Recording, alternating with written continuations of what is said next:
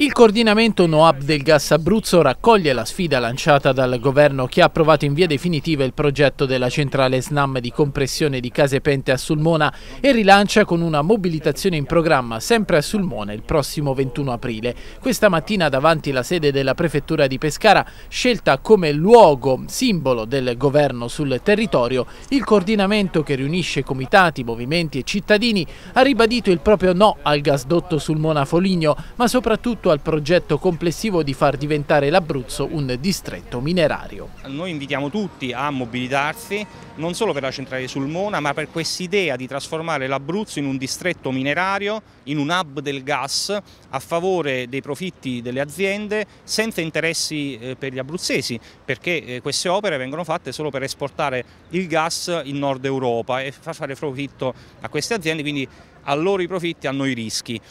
Il decreto era un provvedimento atteso contro il quale la Regione Abruzzo ha già detto di voler fare opposizione presso il TAR del Lazio, ricorso che segue quello avverso la delibera del 22 dicembre scorso della Presidenza del Consiglio dei Ministri. I comitati civici sottolineano come non ci possa essere alcuna ragione di Stato che soverchi la sicurezza delle popolazioni che poi dovranno fare i conti con l'opera. Gasdotto dicono che attraversa l'Appennino, uno dei territori con la più alta attività sismica d'Italia. Eh, questo è anche eh, diciamo, un'ulteriore dimostrazione